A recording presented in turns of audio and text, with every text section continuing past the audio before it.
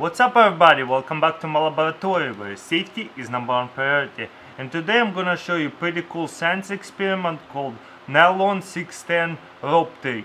Let's check this out. For this experiment we're gonna need these chemicals. Hexadimethyline solution and sebacoyl chloride hexane solution. First we're gonna edit hexadimethyline and we're gonna get 10 milliliters solution right here. Then we're gonna slowly edit Sebacoyl chloride. Don't mix it.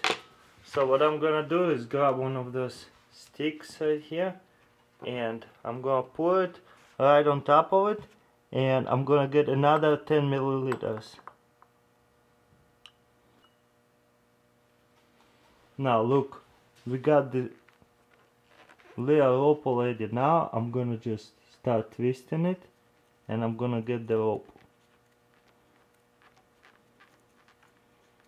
Pretty cool huh? So as you can see the film have created in those solutions so I'm just gonna start twisting it. So this experiment called nylon 610 rope trick.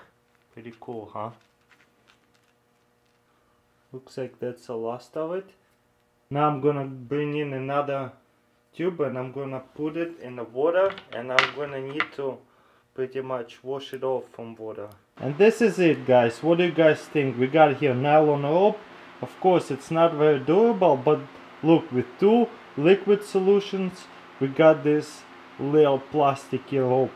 Pretty cool, huh?